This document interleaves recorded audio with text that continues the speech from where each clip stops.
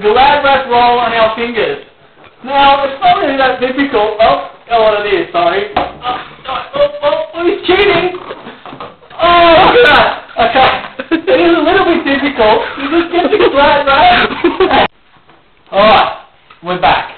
Sorry about that uh, mishaps before. I just had a bit of an accident. Haven't had much practice in balancing um, glad wrap under my fingers.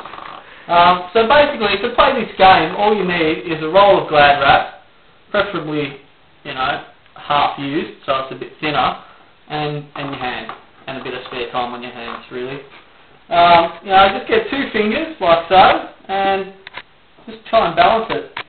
So that's pretty much all it takes, and, you know, you'll, you'll soon get a bit of skill, and you'll be able to do it, and you probably won't want to fall over like I did a bit earlier, but it's quite a fun game when you've got nothing to do. Um, oh, lost it.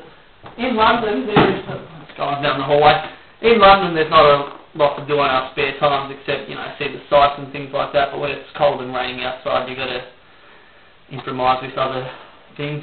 Um, anyway, that's pretty much it.